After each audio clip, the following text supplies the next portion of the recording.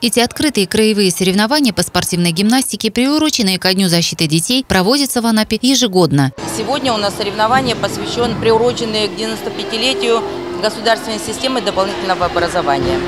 Это открытые краевые соревнования, в которых участвуют 10 команд из 10 городов. Несмотря на то, что соревнования имеют статус краевых, география участников расширяется. В этом году помериться силами с кубанскими гимнастками решили спортсменки Белгорода, Тулы, Саратова, Ростова. Соревнования важны для юных гимнасток, поэтому они так волновались и плакали, если упражнения или снаряды им были не подвластны в этот день. Ведь по результатам можно было повысить разряд и показать, чего добилась за год. Почему вы гимнастикой занимаетесь?